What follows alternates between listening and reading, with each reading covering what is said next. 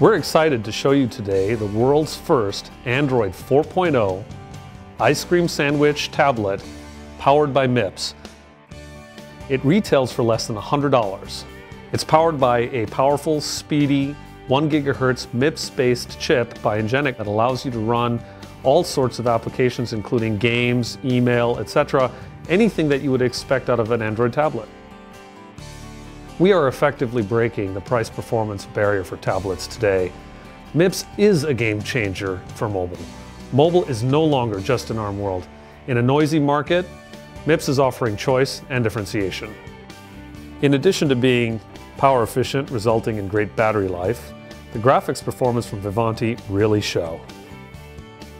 This is a fully functional Android tablet with features including front and back cameras, a multi-touch capacitive touchscreen, SD card slot, an HDMI port capable of 1080p output, and so much more. It also runs applications such as the Kindle app and Angry Birds, including the ability to check my email by connecting to an Exchange server. I'm going to enjoy my ice cream sandwich with MIPS. Mmm.